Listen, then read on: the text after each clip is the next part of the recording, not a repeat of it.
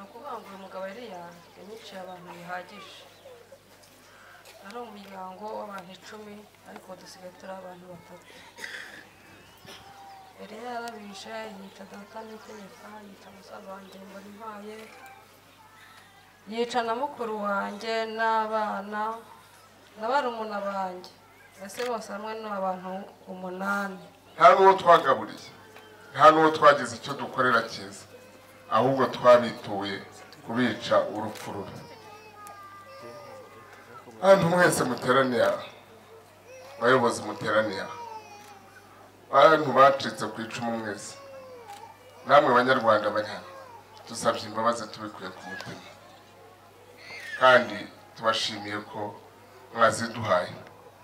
Ntabwo nari nzi ko umuntu nk'uyu twari twariganye yanyica. Nu- numvaga bidashoboka. Ariko byarashobotse kubera ubutegetsi bubi bwari buriho. Data bamwishe nabi. Data baramwishe agera igihe arazanzamuka n'ubundi bari bavuye kwica baragaruka bamuhuriraho bose.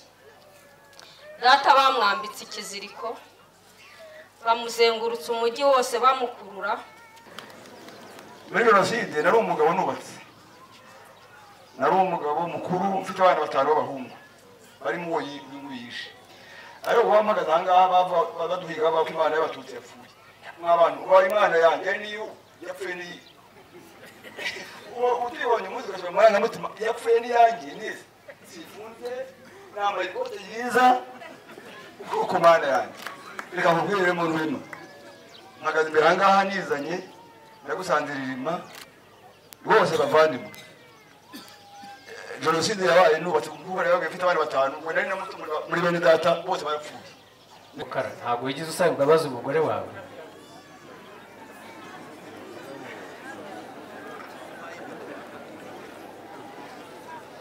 Yewe mbabarire kuko ndi umuntu iryo jambo ryancitse.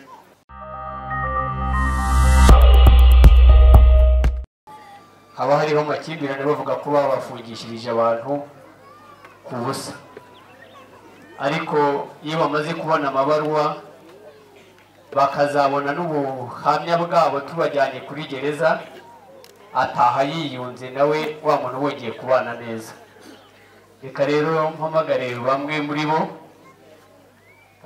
Kadahera ku witwa Musabyimana Eliya Eh, akomoka mu murenge wa Musenyi. Iki gikorwa kiba kiri ku rwego rw'akarere kuko tubasanga mu miryango yo mu hafi mu mirenge yose y'akarere ka Bugesera. Eh, ubwo rero tuba twabanje gukorera mu gace ka Mwogo na Nyamata. Uyu munsi turi muri aka gace eh, dushyira n'icyahoze ari komine Ngenda na Musenyi. Eh, reka muhe ibindi abyivugire. Akoze kandi ashimiye umwanya wampaye uhaga- guhagarara imbere yanyu ubwanjye numva ntari nkwiriye kongera guhagarara imbere y'imbaga y'abanyarwanda ngana gutya kubera ibyo nakoze mirongo icyenda na kane. Yitwa Musabyimana Eliya iri mu murenge wa Musenyi akagari Musenyi umudugudu Icyeru ubu ngubu mm, naje niruka mu rugo rwa gereza nkuru ya Bugesera ni ho ndimo ngororerwa ukuri mpagaze hano ndi umwe mu bagabo babaye bigwari habaye urukozasoni ku bagabo b'abanyarwanda muri mirongo icyenda na kane. Umwe mu bagabo kandi bashyize mu bikorwa jenoside yari yateguwe. Yarateguwe nanjye mfasha abayiteguye gushyira mu bikorwa. Nishe abapapa muri mirongo cyenda na kane. Nishe abamama nishe abana mbere yo gukomeza ndagira ngo abantu bari aha ngaha. Abamama abapapa abana umbabarire mbabarire ariko by'umwihariko ndasaba imbabazi. Witwa muhire emmanuel. Umuturanyi turaturanye nishe papa we karemera paul yica mukuru we mukwaya n'abana be batanu. Nica murumuna we gahiri gasaba imbabazi muhire n'abarokotse b'umuryango be bikuye ku mutima bambabarire. Nanone kandi ndasaba imbabazi rusatsi denise yishe papa we yitegeka yica abasa- yica abasaza be babiri harimo uwitwa mbonimpaye yica mukuru we witwaga kimpaye n'abana babiri ba mukuru we ndetse n'abana babiri bo kwa mukasi. Ndabasaba imbabazi ndasaba imbabazi denise n'abarokotse bo mu muryango we bikuye ku mutima. Ndasaba imbabazi kandi gatete nawe ni umuturanyi yishe mushiki we mukamana kandi abo bose babicaga bahora uko baremwe bahora izina twabise ngo ni abatutsi. Basabye imbabazi iciye bugufi imbere yanyu bikuye ku mutima wanjye mumbabarire asaba imbabazi umuryango nyarwanda. Mwese uko muri aha n'abari ahandi hirya uzagezaho iyi nkuru ndabasaba imbabazi ndasaba imbabazi umuryango nyarwanda. Mwese mumbabarire kuko nabaye ikigwari mba umugome umwicanyi nkora jenoside ku buryo buri hejuru yica abantu baziza uko baremwe. Ndasaba imbabazi umuryango wanjye. Aho ntabwo nigeze nkubwiza ukuri nyako. Kandi narabasize icyasha cyo kwitwa abo mu muryango w'umwicanyi umuntu wakoze jenoside. Nabo mbasabye imbabazi bikuye ku mutima. Basaba imbabazi leta y'ubumwe bw'abanyarwanda bikuye ku mutima. Kandi muri ibyo byose ndasaba imana ishobora byose imbabazi. Reka nshime abantu bagiye bamba hafi ari cyo gituma n'uyu mwanya mpagaze hano. Ndashimira by'umwihariko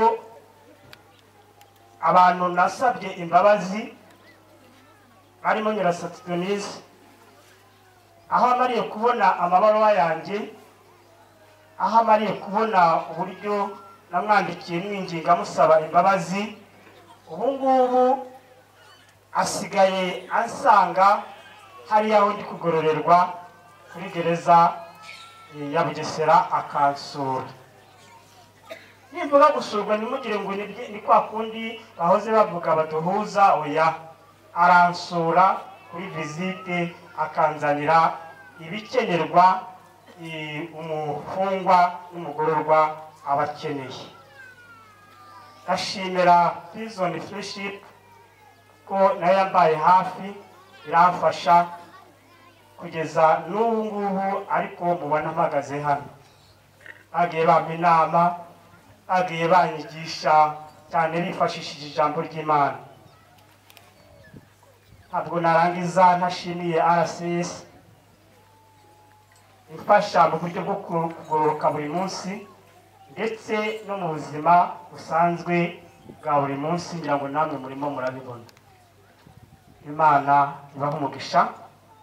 Ndahiye imbere yanyu mwese n'imbere y'imana ishobora byose ko ntazongera gukora jenoside n'ingengabitekerezo yayo n'ibindi bisa na yo ukundi imana yabifashemo murakoze.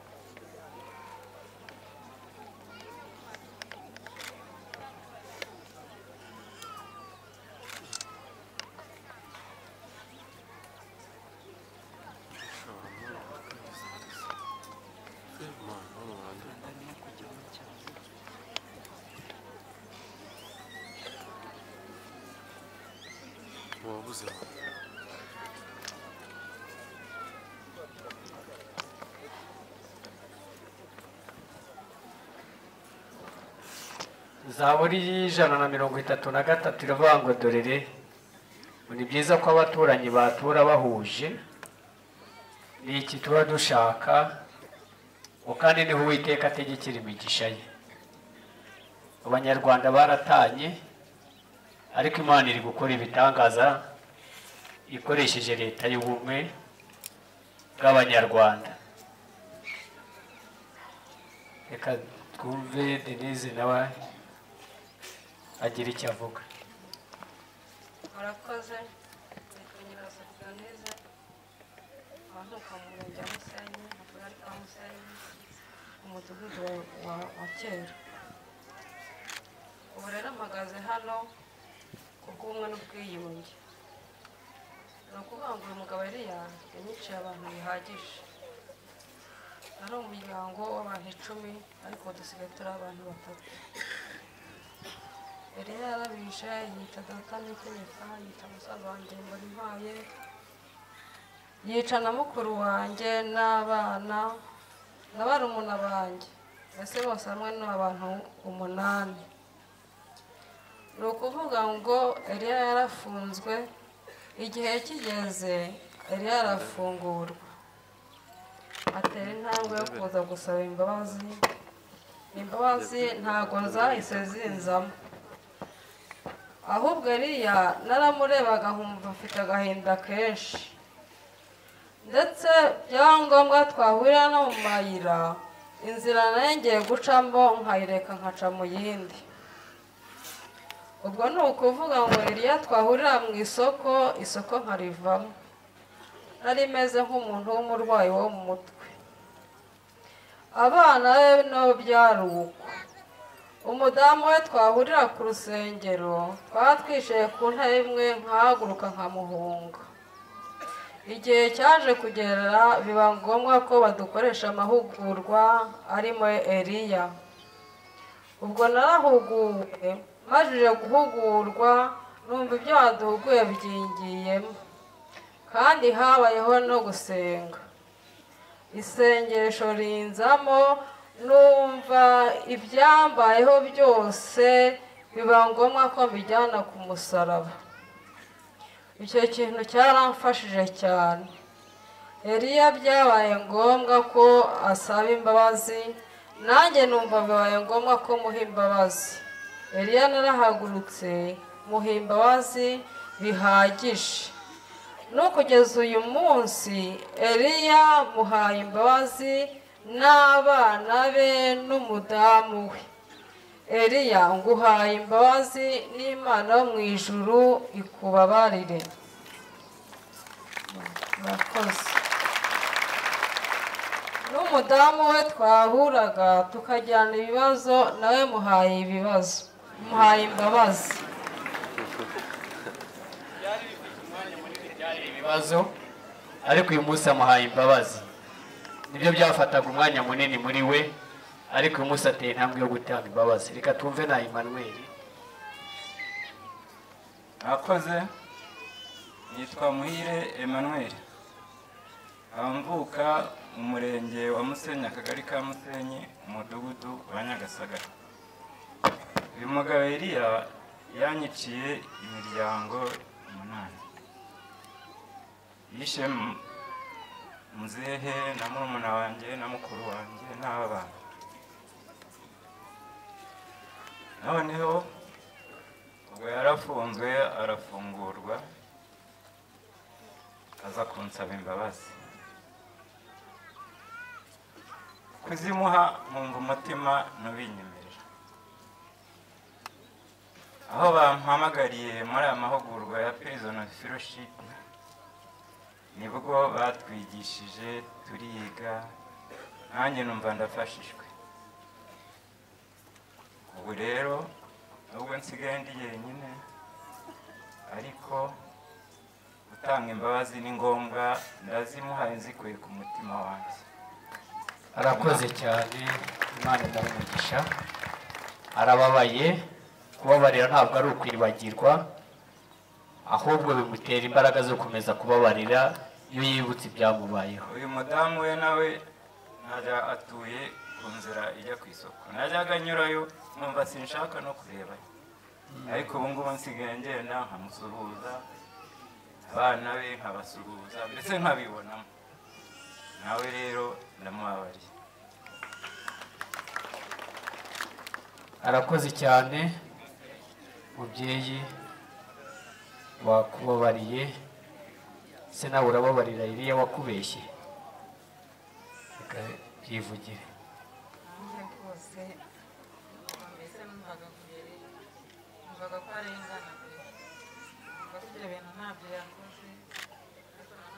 ko bamujyanye hariya ko yabikoze koko nanjye akanya nk'aka ndamubabariye n'imana yaramubabariye na nyirasasiga nize ni ukuvuga ngo nawe ndamushimiye cyane. Mama we. Umubare wanjye akimara kugera hariya mama we rwose ni wampaye inzira arambaza mbese ati umusaza ameze ate? Ntaraho ubwo mvuze ngo ndashaka kuzajyayo. Rwose yampaye nge mumushyira ati uzamusuhuze rwose nawe ndamushimira.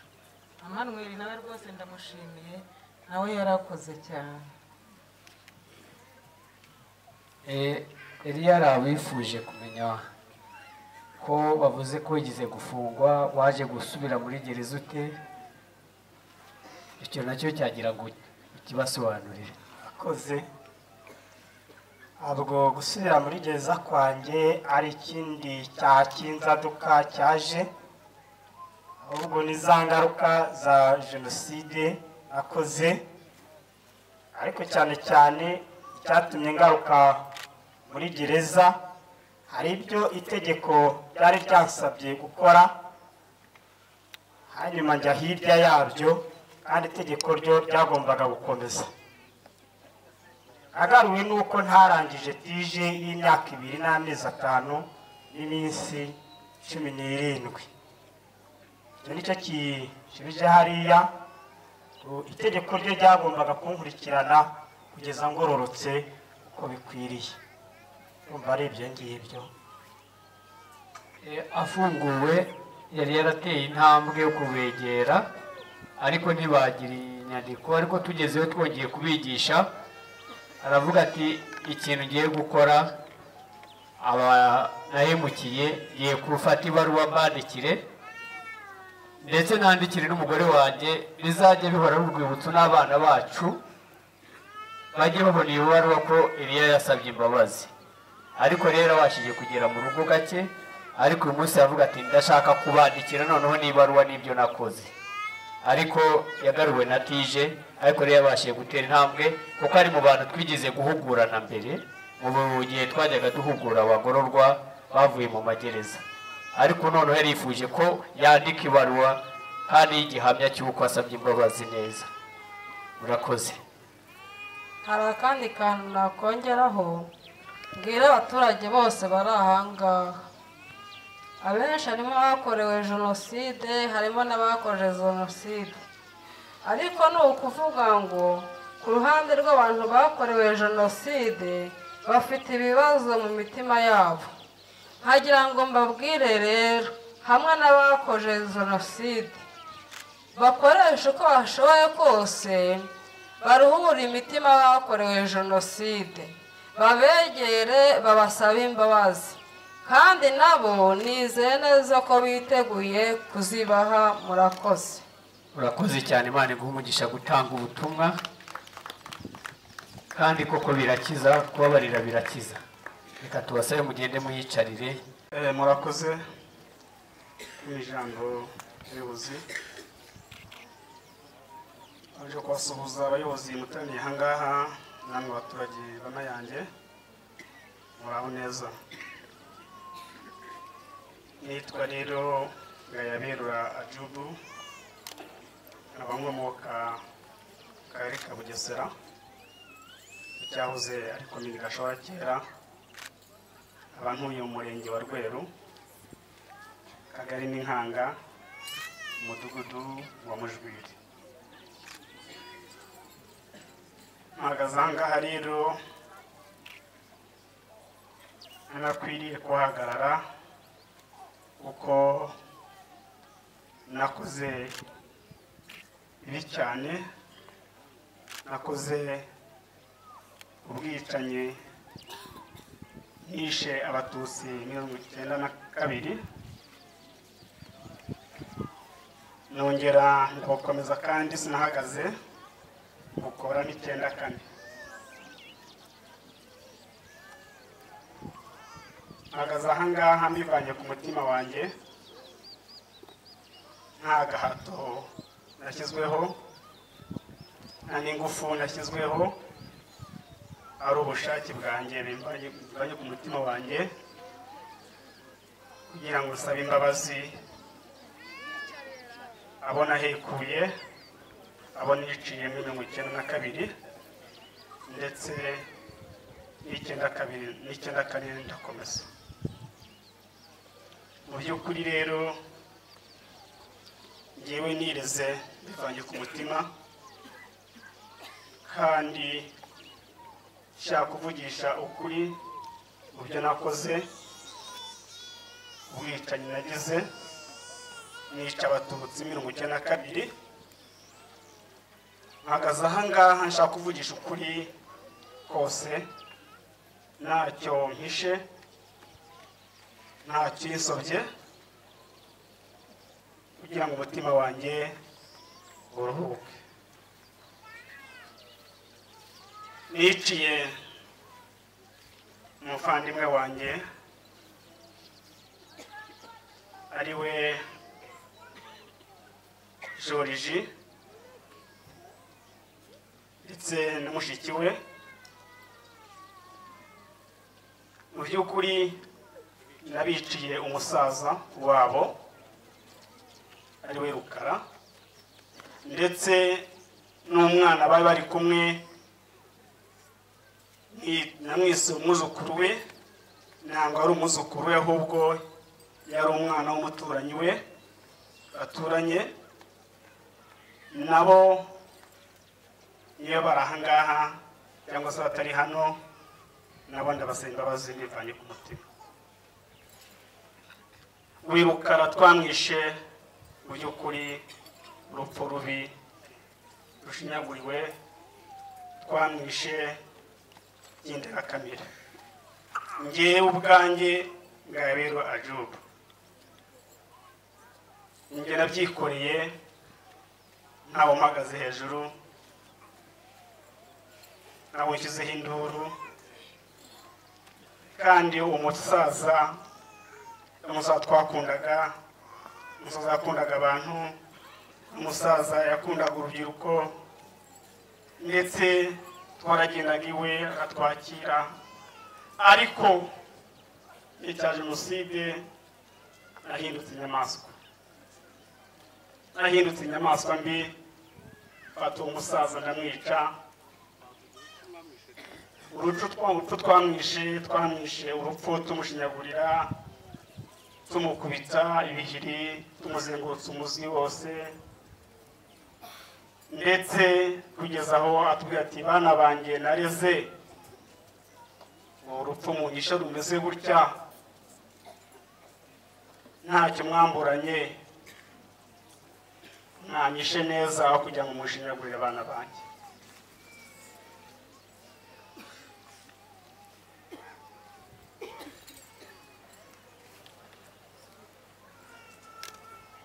Mu by'ukuri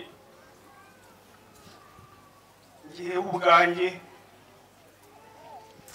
nahise mvuga koko uyu musaza iki?" ndasaba imbabazi mbifanye ku mutima rwose y'icyaha nakoze. Cy'ubwicanyi icyenda kabiri icyenda kane. Ndasaba imbabazi ko ntazabyisubira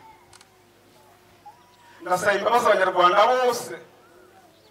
Abarokotse bose basabye imbabazi narahemutse nabaye umwana mubi nabaye ikigwari nishe abanyarwanda nishe abatutsi bazize uko bavutse ariko ndasaba imbabazi mbibanye ku mutima. Kw'icyaha nakoze ubwicaye nagize ubwicaye nagiye nakoreye abatutsi azabusubira ukundi kandi ndamagana abapfobya ko jenoside itabayeho kandi yarabaye. Ndamagana ab'ingengabitekerezo zose aho zikagera kandi umwe muri bo wo gushishikariza abanyarwanda ko jenoside twakoze itazongera kuba ukundi. Kandi imbazi mbivanye ku mutima rero rwose mumbabariye mumbabariye mumbabariye nanezerwa umutima wanjye washyika hamwe umutima wanjye watuza mumbabarire mumbabarire mumbabarire nkabashimira ivugabutumwa yaje ku magereza rikatwigisha ngewe ubwanjye narihebye ashobora gusaba imbabazi ariko numvisha inyigisho. Nemera gushyira ukuri ahagaragara nandikira abo nahemukiye abo niciye imiryango yabo. Mu gihe cya jenoside icyenda kabiri ndetse n'icyenda kabiri. Mu by'ukuri naratuje ndatekereza shyira ubwenge ku murongo mbasha kwandika amabarwa saba imbabazi abona bahemukiye sabye imbabazi rero mbivanye ku mutima kandi ntabwo gukora icyaha ukundi nta nubwo nzongera kugitekereza ahubwo nzacyamagana nivuye inyuma. Murakoze. Arakoze ntabwo byoroshye. Kaduhamagare louise na musaza we george karega. Bihangane bagere hano. Kandi tubabwira ngo bakomere.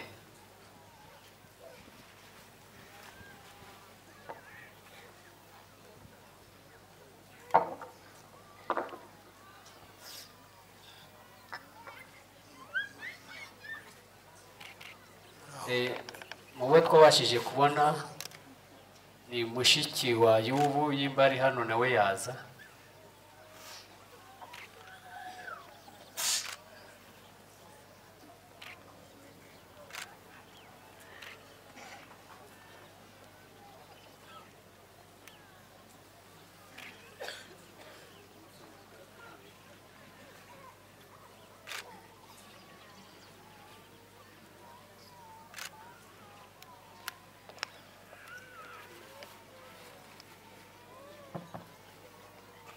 Murakoze. Nitwa mungu louise. Ntuye mu murenge wa rweru mu mudugudu w'ubumwe n'ubwiyunge. Mbere na mbere mbanje gushimira abayobozi b'igihugu cyacu n'ingabo zari iz'inkotanyi zo zabashije kuturokora. Igihe nk'iki biba bigoye kubivuga. Ariko hamwe n'imana hamwe no kubabarira no kwibabarira ubwanjye mba numva navuga. Ndabanza gushimira komisiyo y'ubumwe n'ubwiyunge na prison fellowship rwanda kuko ariyo yagiye ibasha ku- kugabanya ibikomere twari dufite. Ntabwo byoroshye kubabarira umuntu yarakwiciye nabi. Muri mirongo icyenda na kabiri iwacu habaye jenoside. Nari nkiri mutoya ariko nari naragiye mpura na byo mu mashuri ariko simbyiteho cyane. Jenoside yabaye ku itariki ya munani z'ukwa gatatu ntabwo nari nzi ko umuntu nk'uyu twari twariganye yanyica. Numvaga bidashoboka. Ariko byarashobotse kubera ubutegetsi bubi bwari buriho. Data bamw- bamwishe nabi. Data baramwishe agera igihe arazanzamuka. N'ubundi bari bavuye kwica baragaruka bamuhuriraho bose. Data bamwambitse ikiziriko bamuzengurutse umujyi wose bamukurura. Bagenda bishyuza amafaranga kugira ngo babakize umwanda.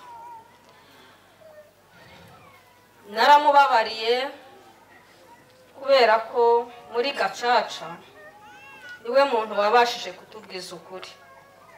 Ariko abandi bajyaga babikingakinga ntibatwerurire dore ko no gushyingura twari twarayobewe ahantu muramburi. Bakatwereka aha tugacukura tukarangiza tugataha. Biragoye rero kubabarira n'intambwe. Njyewe ntabwo natekerezaga ko yari gusubira muri gereza kuko yari yaratashye twaranamubabariye hamwe na bagenzi be. Ntabwo nari nzi ko hari ibindi wenda atireze kuri twe. Ariko uyu munsi ubwo yemeye kongera gusaba imbabazi nubwo yari yarazinsabye namubabariye naranamubabariye. Maze igihe naramubabariye agenda aruhuke we n'iyimana ye. Yihane yihane. Ubuzima burakomeza nanjye ntararuhuka. Muri jye naricanaga ko numvaga umuhutu wese ari umwicanyi. Isoko narigeragamo nkareba ndagura nandi. Urumva ko nari ndembye. Mu rusengero nageragamo nareba pasiteri uri bwigisha. Hahita ntaho. Nta bumuga butari ubu. Nta mahoro nari mfite. Ariko prison fellowship rwanda ikimara kutwigisha nagiye nitekerezaho irangira numva nkwiye kubanza kwibabarira mu mutima kugira ngo nduhuke. Hanyuma mpita mfata icyemezo cyo kubabarira n'utaransaba imbabazi. Ubu bashobora kuba bakirimo. Nibansaba imbabazi. Narazibahaye abasigayemo nabo rwose niteguye kubababarira murakoze.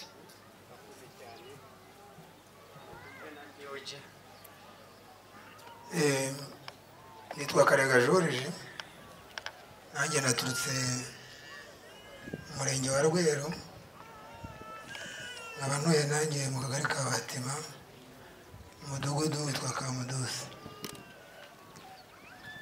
Ibyo rero mushiki wanjye yavuze ngewe mu rutukuri nako mu rutukuru ubukuru eh, ku buryo murusha imyaka irenga umunani. Ni ukuvuga ngo rero ibyahenduwe umuntu mukuru. Ariko ntabwo nari nturanye n'iwacu ariko bica data nari nashoboye kugera aho iwacu uwo munsi. Maze kumva ko barahiga abantu batangiye kwica byansabye gufata akagare kanjye nsubira nari ntuye ariko hari mu murenge umwe. Nyuma yaho rero nk'uko wabivuze data bamwishe avuye mu rusengero muri mirongo icyenda na kabiri. Ubwo ibyo bavuze barakubise izo mpiri baza kumushyiramo n'ikiziriko bagenda bakurura nk'uko mushiki wanjye yavuze bajyana ahantu muri wese wese yitumwamo niyo bahambyemo ubwo rero nk'uko yavuze mushiki wanjye n'ubundi twakomeza gushakisha nyine batwima amakuru. Nyuma yaho rero koko twaje kugenda duhura n'amasomo y'ubumwe n'ubwiyunge bidusaba no kumva ijambo ry'imana icyo ridusaba. Kubabarira ari ngombwa nawe bikakuruhura. Igihe umuntu yemeye icyaha cye kandi yagishyize ku mutima akakivuga atagihishiriye byansabye rero nanjye kwemera n'abavandimwe izo mbabazi uzisabye azihabwa. Noneho nkabagerewe nanjye imbere yanyu. N'imbere y'imana. Uyu mugabo ngaberura y'ubu twamuhaye imbabazi. Ubu si bwo bwa mbere twazimuhaye no kuri gereza. Izo mbabazi turazitanze mu maso yanyu n'imbere y'imana. Barakoze cyane uyu muryango ntabwo byoroshye. Kubabarira nubwo ari ukwibabarira ariko ntibinoroshye. Ntimugire ngo ni ibintu byoroshye gutanga imbabazi z'ukuri. Kandi n'aba ngaba nabo kenshi ntibizeraga imbabazi.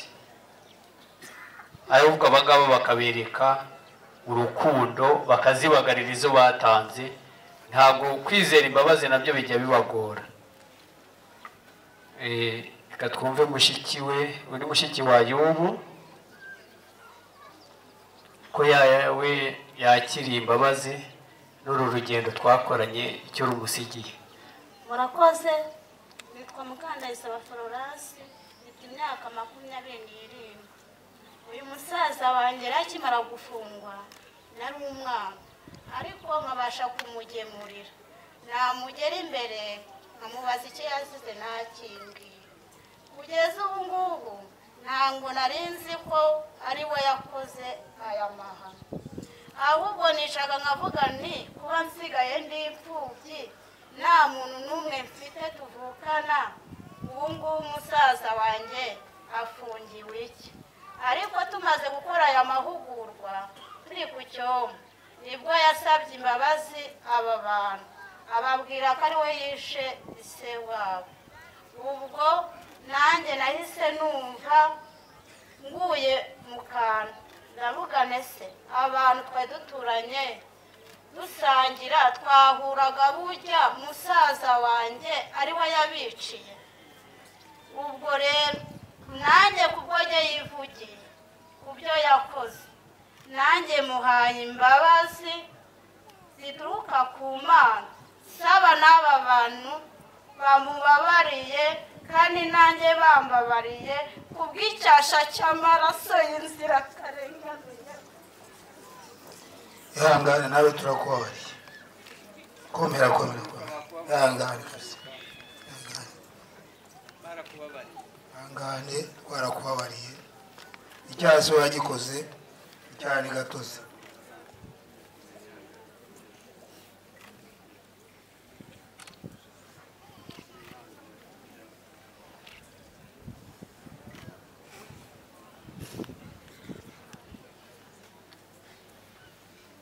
Murumva ko uyu murimo wongera kubaka imiryango.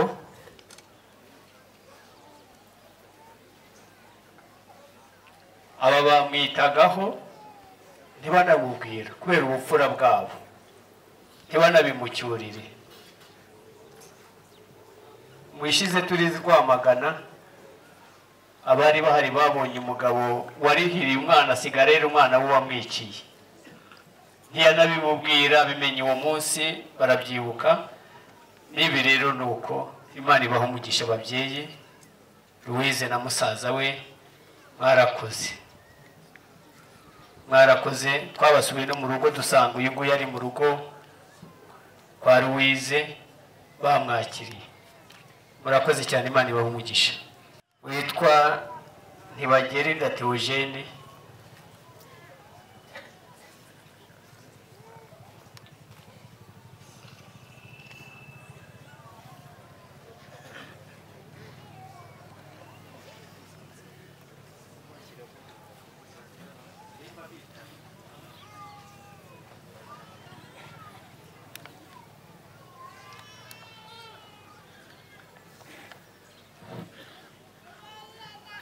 Murakoze nanjye nitwa Ibagerinda Theogene iwacu akaba ari hano i Musenyi umurenge wa Musenyi akagari ka Nyagihunika.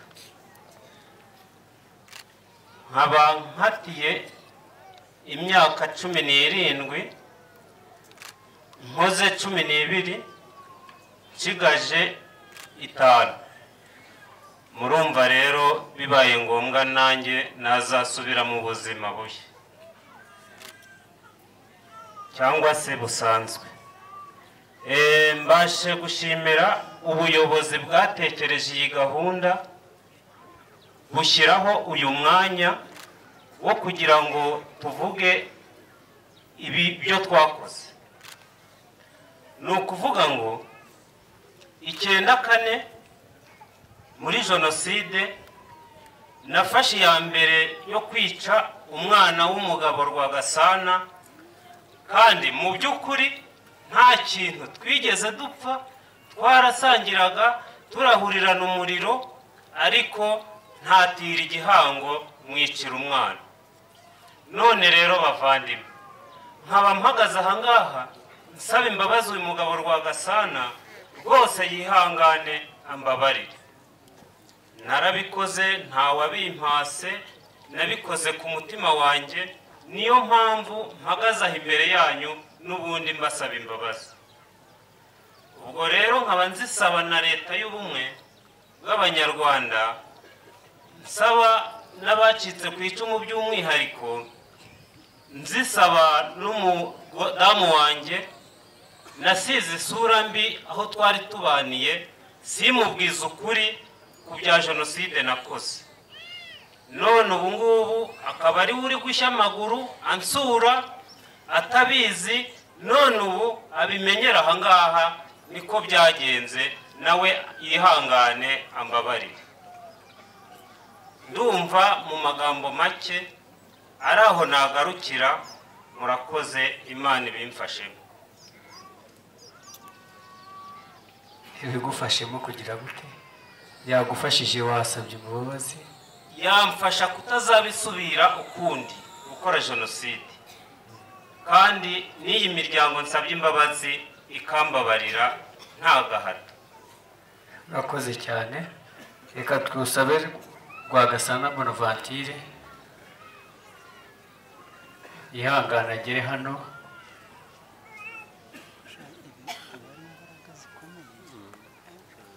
N'umugore wa Theogene nimba hari nawe yaza.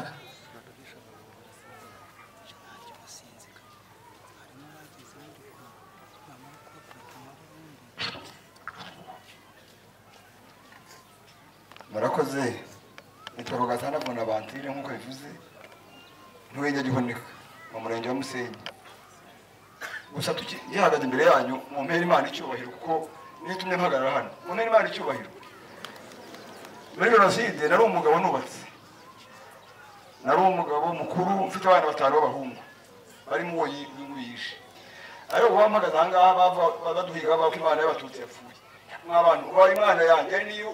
Yapfuye niyi uwo utibonye umunsi ugashyira mu marangamutima yapfuye n'iyanjye neza sifunze nambaye ikote ryiza ku mana yanjye reka nkubwire muntu urimo mpagaze imbere ahangaha nizanye ndagusanze bose bavandimwe jenoside yabaye nubatse umukobwa rero abana batanu. Nari na muri- bene data bose barapfuye.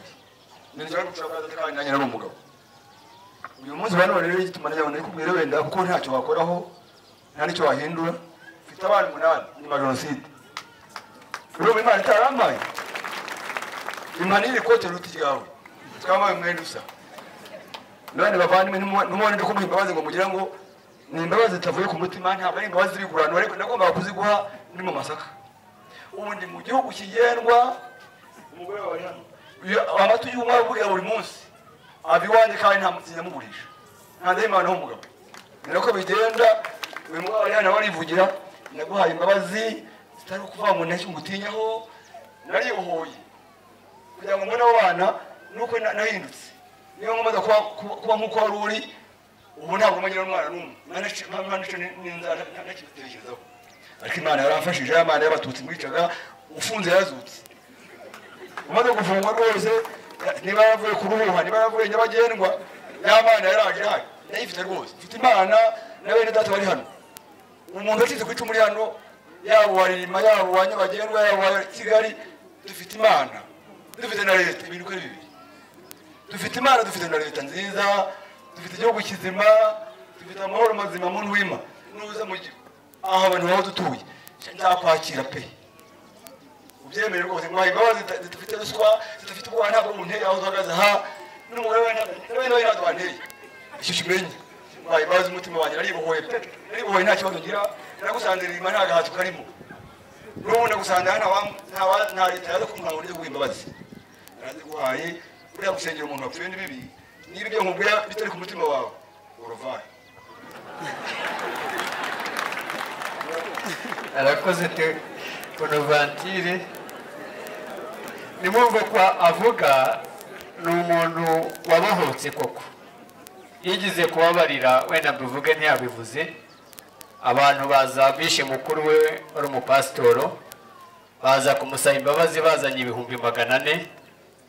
Arangije kubaha imbabazi baramubwira ngo twari tuzanye amafaranga. Ati muyona bababariye muri miliyoni zingahe? Nayo arimo. Bagenda batemera imbabazi baravuga bati buriya no gushaka kutwica. Hanyuma bashaka kugurisha amasambu yabo ariko basanga barababujije kuyagurisha kuko bari barakoze jenoside ahubwo bagirwa inama yo kugaruka. Noneho baje ku- kumutura bavuga ko baje gushimangira imbabazi yarabohotse pe ni we udufashe uyu murimo hariya nyagihunika ubu yatangiye kwigisha mu kagari abaturage ababwira kubabarira. Yarabohotse rero imana imuha umugisha. Reka twumve uyu mubyeyi. Reba kugira ngo umuntu akwicire abana mu bana batanu n'umugore bose barapfuye twagiye atwereka abandi bana n'umudamu yashatse nyuma hanyuma akaba akamira umugabo wamuhekuye abana be. Urumva ni ubutwari ni ubupfura butagira akagero. Imbabazi uzakiriye iteke wowe uranazakiriye ahubwo. Ngaho tubwire.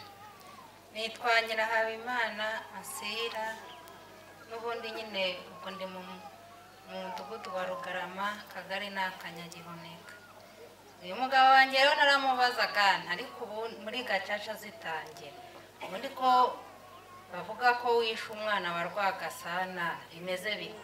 Ati reka barambeshyera uyu muntu bamukatira imyaka cumi n'itanu. Agaruka mu bujurire. Aza n'ubundi nta kintu yungutse cyo kuba yavugisha ukuri. N'ubundi bamukubita iyindi myaka ibiri bibaye cumi n'irindwi. Ubwo rero isigiye inda y'amezi arindwi. Nyibyariramo abana babiri. Bitewe n'ubuzima nari- ndimo abantu sinigeze mbareba narigenderaga. Kuko urumva na bya bana babiri birancanga ngenda nisabira amata yo kwihera abana. Yari iya mbere nayifatiye aha. Ndagenda nkajya banyihera amata ndetse ngiye no gusura bampa amata yo kumutsura. Ubwo rero yo kumugemurira. Yo ubwo rero kuba ataravugishije ukuri na mbere yose ngo ambwize ukuri. Akaba abivuze ubu ni ukuri niba bisabye abivuze abivanye ku mutima. Nanjye ndamubabariye ariko by'umwihariko rwagasana we n'ubundi ndumva nta kintu twapfaga ndagenda nkarya n'ubu nagiye kumureba ninywera amata. Mu by'ukuri nge nta kibazo numva afitanye rero yarakubabariye yaranazimpaye yarazigwa ntazo biri gusaba rwose yarazimpaye umuntu uguha amata si ikindi yakwimana igiki imana iguha umugisha nawe barakoze cyane ariko reka nakire uwitwa bukarata aze yihuta bari we nsozerezaho nze guhamagara udufasha kwigisha abandi bagororwa mugenzi wabo avuge mu izina ryabo ry'abatabashije kuvuga inkuru ngenda nibonye irahagije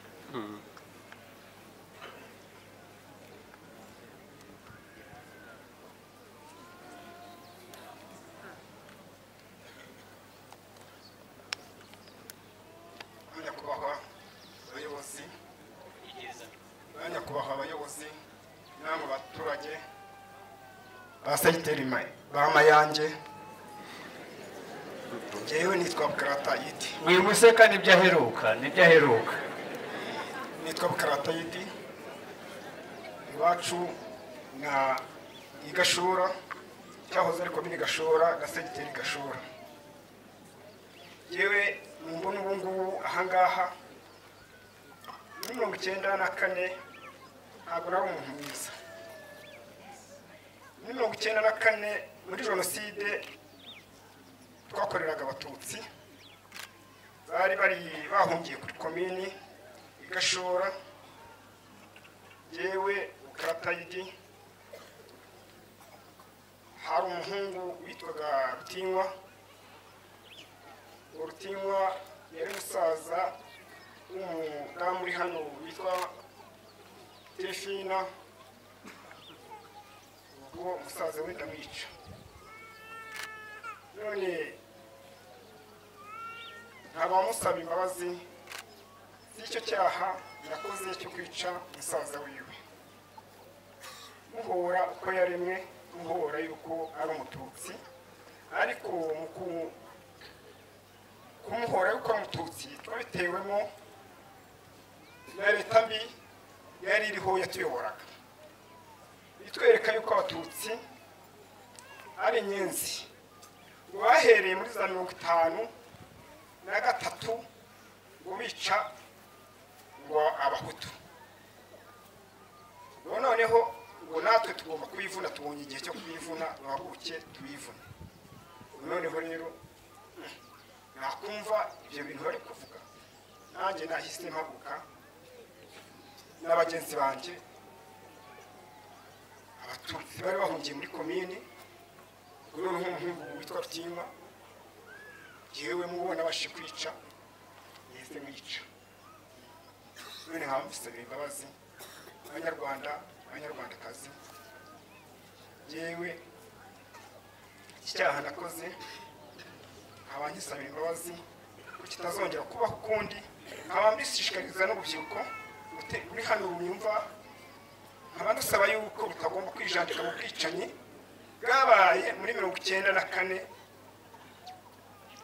bwo kwica abatutsi. Nkaba yuko nta mu- mu urubyiruko wakihirahira ngo rukore nk'ibyo nakoze. Dore ibyo nakoze ngewe ntabwo byanguye neza. Ubu ndi mu- ndiririma ndafunze. Kandi nta ugomba kuba mfunze. Nawe ugomba kuba ndi mu rugo rwanjye nk'abandi banyarwanda bari mu gihugu cya- cyabo. None banyarwanda banyarwandakazi muteraniye aha yewe ubwanjye bwo kugira ngo mbashe kuba ndi imbere yanyu hano nkaba haraje umuryango w'ibwirizabutumwa na rcs idufasha amanywa nijoro mu buzima bwacu kutwitaho noneho umuryango w'ibwirizabutumwa ujya kutwigisha twigisha ubumwe n'ubwiyunge yuko tugomba gusaba imbabazi abantu twakoreye ibyaha byo kwicira ababo. None ubwo ni bwo nanjye nateye ikirenge imbere ubona yuko ngomba kwegera abandi nanjye nkasaba imbabazi bikuye ku mutima wanjye. Nkaba bigize bintera mu mutima ibyo ubwanjye babyibwirije kuko icyaha nararyamaga naryama nkumva aho ndi nkumva mbese nkasanga nkumva inuzi ijoro ryanguye hejuru ryose. Nkarara ibyo muri mirongo icyenda na kane ariko ubu kugeza ubu ngubu kubera umuryango w'ibwirizabutumwa waje muri gereza ukatwi- ukatwigisha ubu nanjye niyo mpamvu mubona hano imbere yanyu kubera ko nabashije kumva navuga ibyo nakoze noneho nkacuruka mu mutima wanjye umutima wanjye ukaba. None gasabye imbabazi abanyarwanda muteraniye hano namwe banyarwandakazi ko iki cyaha cya jenoside kitazongera kubaho ukundi. Murakoze. Yarakoze ntabwo mwumvise avuga umuntu umwe ariko ku karere cyangwa kuri komini icyo gihe ntabwo hari hahungiye umuntu umwe. Ahubwo n'uwaba abonye twamuhuje nawe kuko ntidushobora kumuhuza n'abo bantu bose bari ku karere. Ariko si n'ubwa mbere asabye imbabazi ubushize twamujyanye rukumberi nawe yasabye imbabazi. Bityo rero uwo bashije gushobora twebwe kumuhuza nawe bose agenda basaba imbabazi koko bicaga abantu benshi. Reka rero dusabe tirifina ndetse n'umugore we bihangane bagere hano Eh, nabo twabashije kuganira nabo barababaye ariko bihangane. Muguda tirifina arababaye ariko yihangane agere hano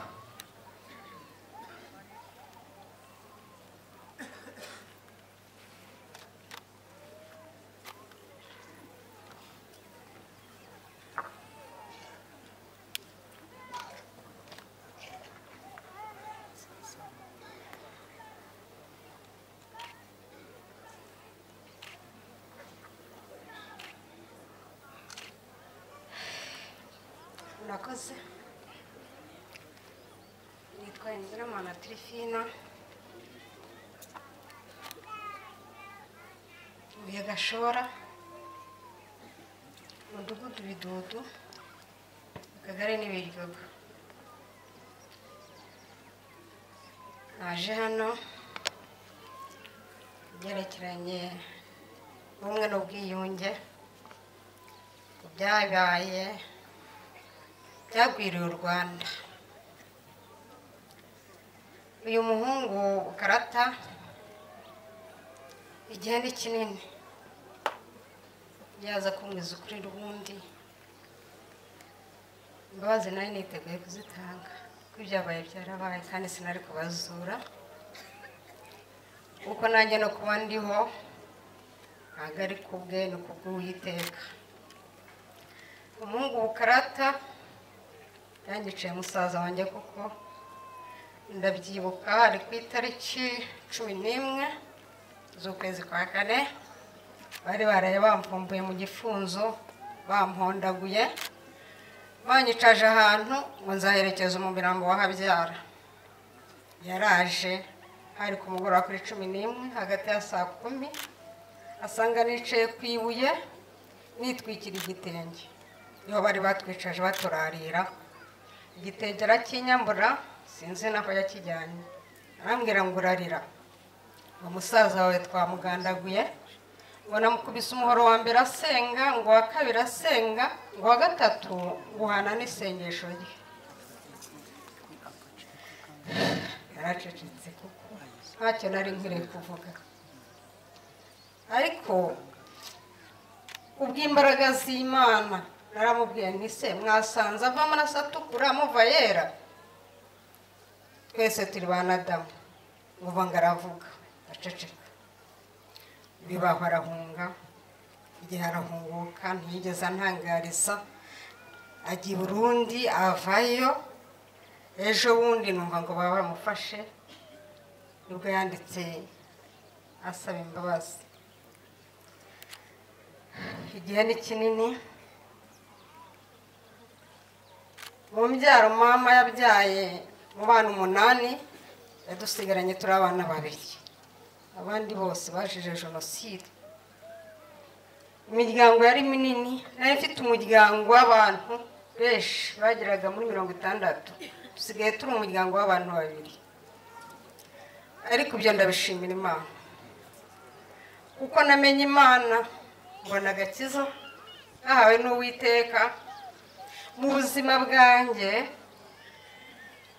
ntarakizwa naravugaga nti uko ihuka ibana n'imbeba mu nzu sinzijyana mbana n'umuhutu ariko kubw'imbaraga z'imana kubwo leta y'ubumwe nigeze kujya mu rusengero rwa poro jenoside ikiba nge- ngezeho nsanga abanyirukankanye nahagurutse ndataha. Barambwira ngo basubiye muri korari muzabanze muririmbe. Kuko imana mukiyifite mubakaga isengesho mwavugaga yuko isengero mugiye kuzisenya mu kubaka izanyu ariko ntabyo muteze gusenya kuko uwiteka yaturinze.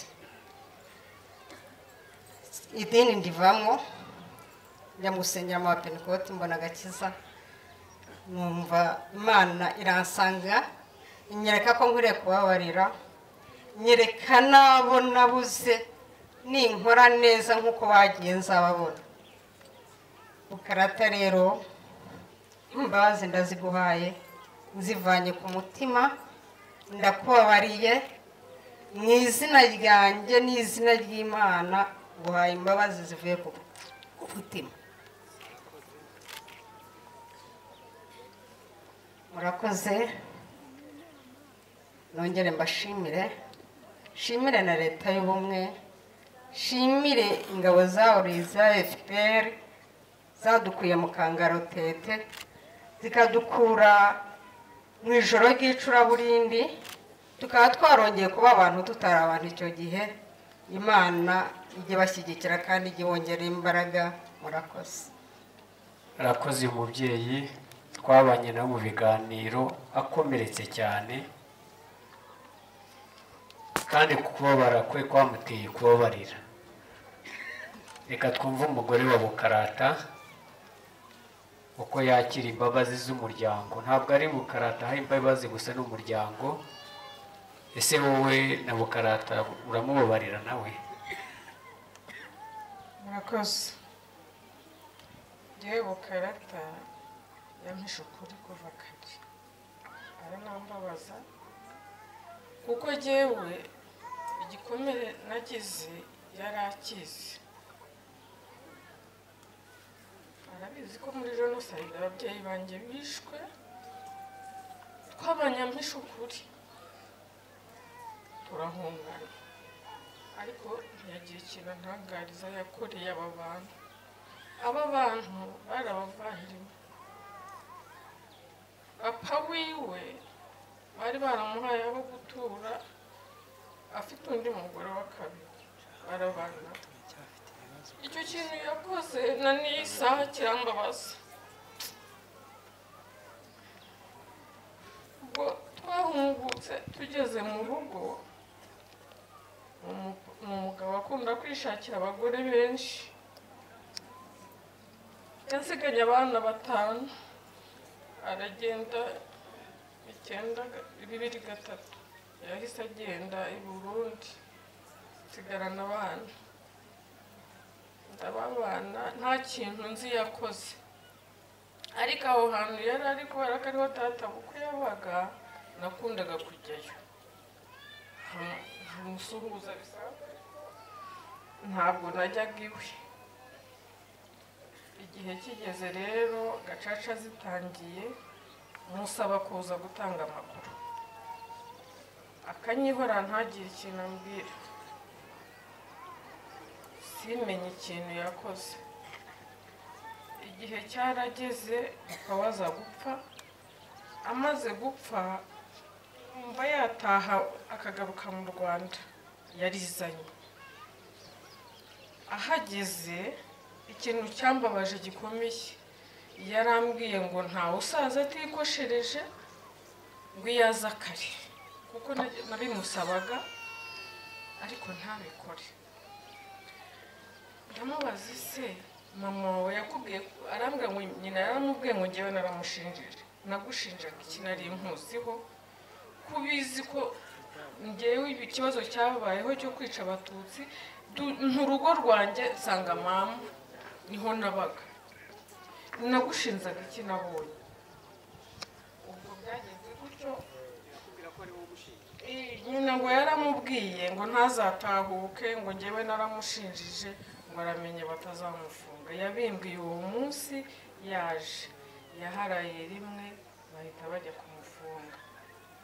Icyo kibazo rero ndakibana kugeza na n'iyi saha ntawe. Yigeze agira icyo antangariza gusa nabibonye ari uko atumijeho uyu mumama tuza mu mahugurwa.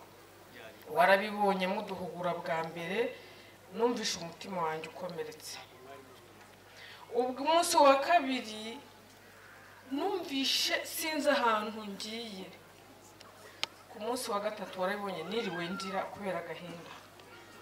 Narahagurutse mbasaba kumfasha. Murambwira muti ngwino tugufashe. Ndababwira ni ikibazo ngize. Ku ruhande rumwe mpagarariye umuntu wakoze jenoside. Ku rundi ruhande mfite ikibazo cy'uko ababyeyi banjye bishwe nta muntu nzi wabishe. Mwansabye gutuza nishyiremo gu- gusaba imbabazi nanababarire kuko harimo umuntu wakoze iwacu waje kwirega.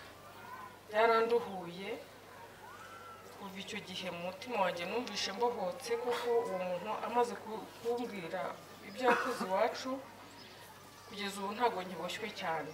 Ariko na n'iyi saha uyu mugabo wanjye wumvishe ko no mu byo yavuze nta kunsaba imbabazi yashyizemo. Ntabyo yashyizemo. Ntabyo yavuze namukurikiye. Ubwo rero ngewe kubera ko iyo ntera yo gutanga imbabazi nyifite ndabubabariye ku rundi ruhande rw'uyu mumama namusabye imbabazi uwo munsi arazimpa n'ubu wumvishe ko yazitanze. Ndamushimira cyane cyane kandi tubana neza. Tubana neza turasurana turaganira. Numva nta kibazo tugirana uyu nguyu. Murakoze cyane. Imana ishimwe kuba iki gikorwa cyabayeho kiduhuza ntabwo wigeze usaba imbabazi umugore wawe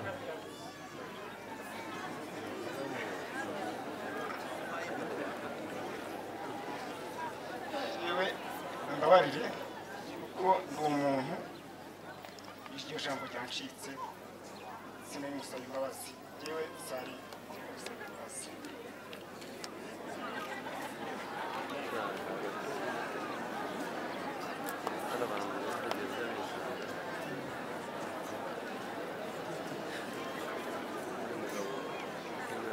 mutuze mutuze uyu murimo dukora ntabwo uba woroshye. Ibi ni ibyo duhura na byo. Ni urugendo. Ariko twe turavuga ngo ni urugendo tuzajya dukomeza.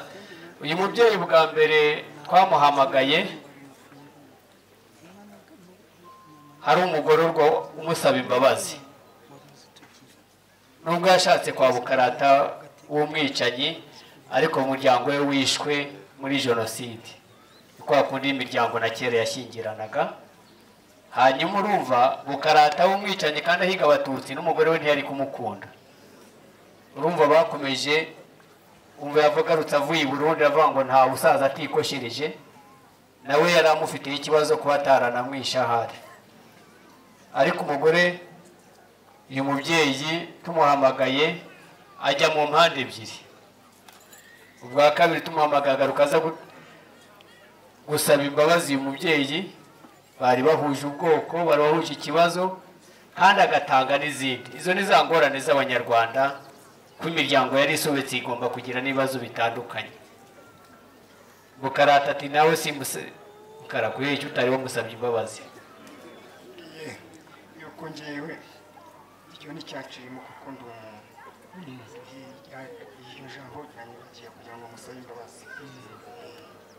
Ariko uyu mubyeyi yari yanazimuhaye tukibasha kubahura kandi baranaganiriye. Reka tubareke two kubaza byinshi ibizakomeza tuzakomeza urugendo. Murakoze imana ibaha umugisha kandi mwihanganye. Ntabwo bari bubashe kuvuga bose kuko ntitwabona umwanya ariko icyo tubabwira baba baricaye hasi tubajyana tu ubuyobozi bwa gereza bakadutera intebe bakabasha kuganira bava aho bose ibibazo bari bibazaga uburyo abantu babo bapfuye babashije kuganira. Ni na yo ntambwe ikomeye cyane dukora. Iyi bisa naho ari ugusoza. Reka rero umuyobozi wabo habimana bakunda kwita cyasa yegere hano agire icyo avuga muri rusange hanyuma dusoze gahunda zikomeze. Murakoze. Ba nyakubahwa abayobozi muri hano ku inzego zanyu ziri. Banyarwanda abanyarwandakazi mwese muteraniye hano. Mbanje kubashimira jyewe ubwanjye no mu izina rya bagenzi banjye mpagarariye kuba mwatwemereye kuza hano gusaba imbabazi za jenoside twakoreye abatutsi. Tutari dukwiye guhagarara hano. Nitwa habimana emmanuel uzwi ku izina rya cyasa. Nanjye ntabwo nitwaye neza muri jenoside. Nakoreye jenoside mu cyahoze ari perefegitura ya kibungo ubu ni mu karere ka ngoma. Ahahoze ari umurenge wa kibungo mu mujyi n'ubundi abayobozi mwese muteraniye aha namwe banyarwanda muri kunyumva kuba twaje kubasaba imbabazi ni uko twabakoreye icyaha gikomeye.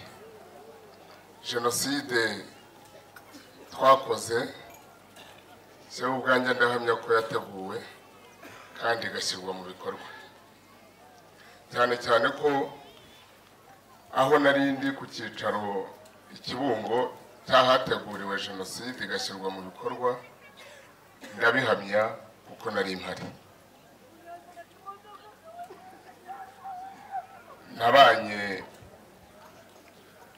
kandi nkorana n'abateguye jenoside tuyishyira mu bikorwa barimo umukoroneri witwa rwagafirita Pierre celestine n'umukoroneri witwa nkuriye kubona serime nibo bayoboraga abasirikare ikibungo jenoside rero yarateguwe kandi ntabwo tuzahwema kubivuga kugira ngo jenoside itazongera kubaho ukundi mu gihugu cy'u rwanda ndetse no ku isi yose. Ubu ndi hano nkatiye igihano cya burundu maze gu- gufungwamo imyaka makumyabiri n'umwe. Narahemutse ariko nanjye narihemukiye kuko murumva imyaka maze n'umuryango wanjye n'abanyarwanda bose hari ibyo nagombaga kuba nabakorera bitari jenoside ariko kubera ko nakoze jenoside ntabwo ibyo nagombaga kuba nabikora. Ni ukuvuga rero ko hariya muri gereza turi kurwororerwamo ya bugesera tuhafite karabu anti jenoside ari na yo mpagarariye twiyemeje kuvugisha ukuri kuri jenoside twakoreye abatutsi muri mata icyenda na kane. Nta na kimwe duhishe. Kugira ngo tubone uko twubaka umuryango nyarwanda ndetse binadushobokeye tubashe kugera ku bumwe n'ubwiyunge burambye.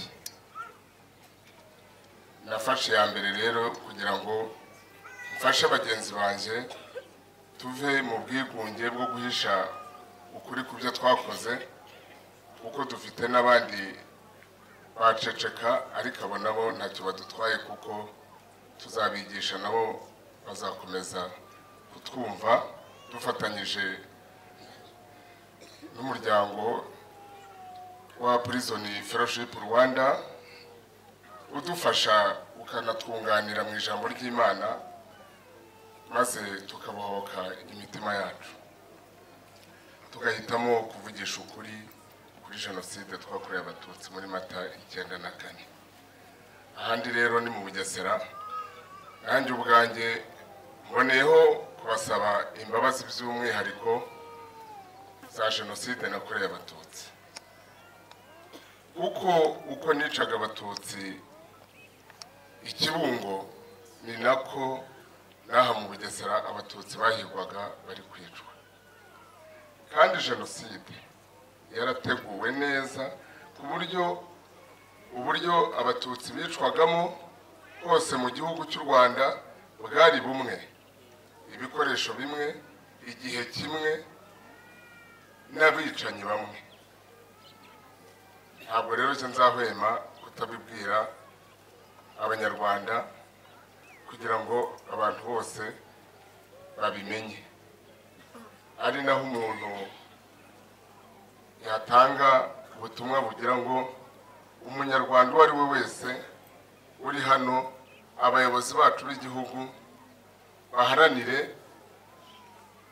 kurwanya ikintu cyitwa ingengabitekerezo ya jenoside ihakana n'ipfobya ryayo nk'uko abari mu mahanga birirwa bapfobya jenoside kandi twebwe twayikoze duhari twiyemerera. Tuzabivuga rero kandi ndahamya ko amajwi yabo atazaruta yacu twebwe tubyemera kandi twari tubihagazeho.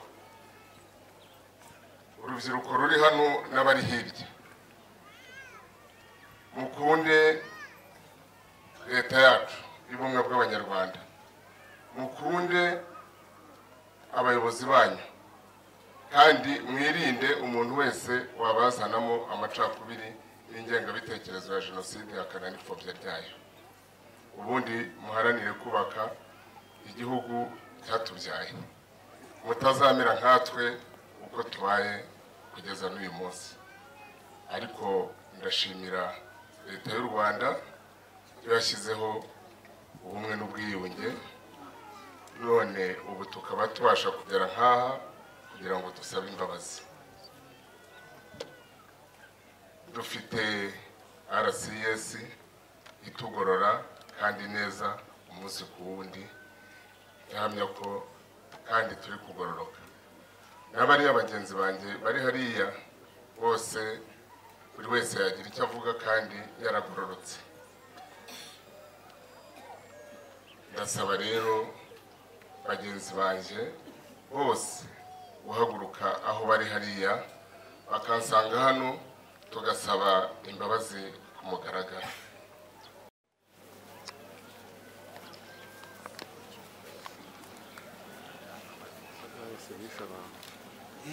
Abase? Nguki aba ni abasa ni abemeye icyaha cyabo. Gusa baba barimo bumva za ya maradiyo ya nuza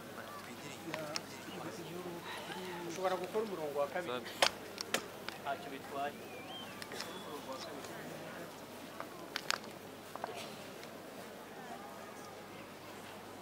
Aba duhagararanye hano. Aba mureba ndahamya ko bagororotse. Icyo mbasaba ni uko bagomba kwegerana bagenzi bacu bose bahari. Nabo bakabumvisha ko bagomba kugororoka. Indi mesaje natanga hano. Ku baturage mwese muteraniye aha ngaha. Hari bamwe bafitemo abagororwa hirya no hino. Bafunze ariko ba- bakomeje kuturusha no guhakana no kwanga gusaba imbabazi. Bantu mubasura mujye mugenda mubabwire. Harimo abafite abagore. Abagore kandi bazi neza uburyo twagendaga muri icyo gihe. Niba twaragendaga tukazana iminyago. Harimo n'inyama inka z'abatutsi twazimaze tuzi- tuzica no kuzirya. Ugateka ukazana ku meza uka- ukagabura mukarya ukagaburira n'abo bana. Kugeza uyu munsi ntubwire umugabo wawe uti ibuka bya bindi wirege wicuze usaba imbabazi. Iyo mesaje ndayibahaye kandi mubidukorere kugira ngo tugere ku bumwe n'ubwiyunge burambye. Murimo kandi turabafite hariya nije ubahagarariye nabibabwiye ariko mumenye ko mugomba gutanga iyo mesaje mukabibabwira nabo bakava ku izima bakabivuga. Jenoside twayikoze ku manywa mwese mureba abari bariho nta mpamvu rero yo kuba mutabibutsa ko ibyo byose bagomba kubivuga ngira ngo mujya mubibonera no ku- no kuriha indishyi z'imitungo. Ikindi ni uko hari umuntu wagombaga kuba yaje kuvuga ibya hano mu- i Mayange ariko eh, ko umurwazi wa sima yarwaye cyane ku buryo atabasha atabasha kugera kuko kuvuga ntabwo yari bubibashe ariko n'ubundi ubutaha azagaragara wenda yorohewe abivuge neza. Bagororwa rero bagenzi banjye muteraniye aha mwese mumanike amaboko dusaba imbabazi abantu bose bari hano. Nta cyiza twakoze. Twahemukiye umuryango nyarwanda.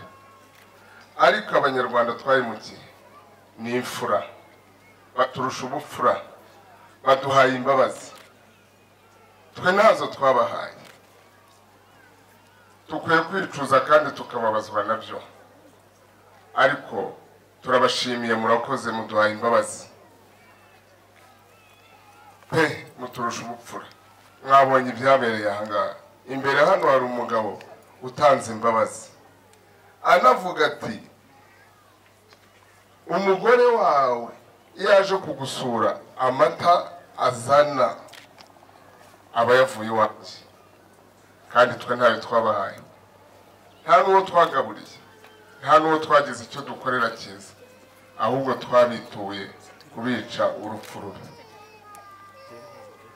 Abantu mwese muteraniye abayobozi muteraniye abantu bacitse ku icumu mwese namwe banyarwanda bari hano dusabye imbabazi tubikuye ku mutima kandi tubashimiye ko mwaziduhaye murakoze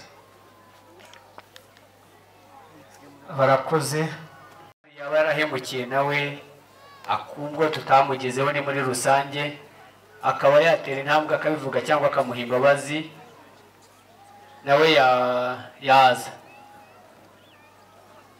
Yaza hano abishoboye kuko wahugurutse ndabaza se ko mujujuye bigenze gute waba yamuzi? Kuko jenoside bakoraga ntibamenyaga uwo bica ngo twishe kanaka cyangwa kanaka bayikoraga no muri rusange. Hari uwaba hari